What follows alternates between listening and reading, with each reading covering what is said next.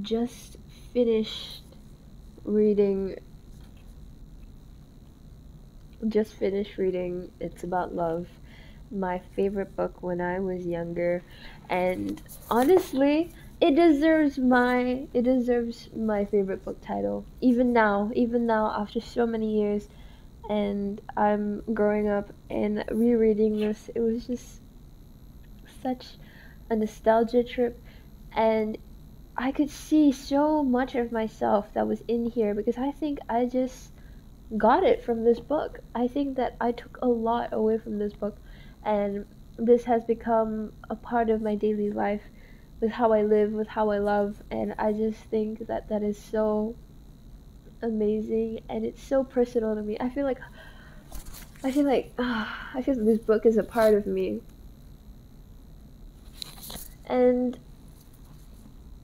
I cherish this book so much. I think that it handles a lot of its topics so very well and just the writing it reminds me of my own writing because when i write i tend to use short sentences and i love the format of this book uh, the write the writing style is obviously a lot of short sentences just like i said and then there are snippets of like script writing like screenwriting because this is a book about uh, a film student who is going through a lot of things in his life and whew, now that I'm reading it again, I see all of the new ones. I see all the small things that I didn't remember when I was younger, but now I definitely see it all. And this is a very I feel like this is a very complex story for a YA novel, and um, I think it handles them very well like Luke's relationship with his family, Luke's relationship with Leia, and especially Luke's relationship with Mark, and the talk of violence in this book, especially men in violence. It's just like it's so much. It's so much, and it's so intriguing to read because the main character, he's very young. He's like 16, he's turning 17 by the end of the book. And he's trying his best because his older brother got sent to prison, so he has to show up. He has to do his own thing. He has to, like, I don't want to say be better, but he has to step up to the plate, you know? And there is a lot of struggle, there's a lot of expectation on yourself, there's a lot of burden there's a lot of emotional complexity to it all. And I just think that Steven Camden wrote this so so beautifully and it it totally reached me. Like there was this one page that I absolutely loved and it was Luke's teacher talking to him and that was uh, his teacher Noah, his film teacher, and it really encapsulate what I think it is to live and to love in very simple terms.